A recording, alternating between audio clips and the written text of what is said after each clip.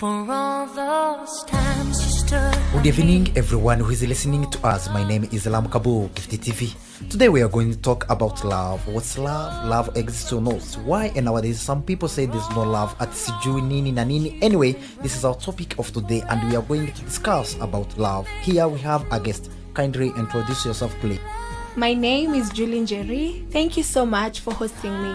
You are welcome. Njeri name is come from which tribe here in Kenya? Njeri is a Kikuyu name that comes from central Kenya.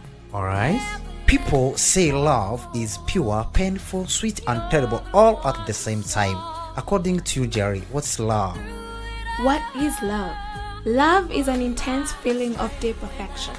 Others still say that love is a great interest and pleasure in something. Okay. But allow me to explain love at a biblical point of view. Alright. In the book of 1 Corinthians chapter 13 verse 4 to 7, Okay. it tells us that love is patient, Alright. love is kind, Wow. it does not envy, it does not boast, it is not proud, Wow. it is not rude, it is not self-seeking, it is not easily angered, it keeps no record of wrongs. Love does not delight in evil, but rejoices with the truth. It always protects, Alright. always trusts, always hopes, and always perseveres. Wow. That's good. Njeri, can you money buy love? No, money can't buy love Why?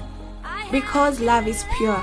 Okay. Love comes from God. Alright. Everyone who loves has been born of God and knows God. Wow. Whoever does not love does not know God because God is love. Wow. That's true.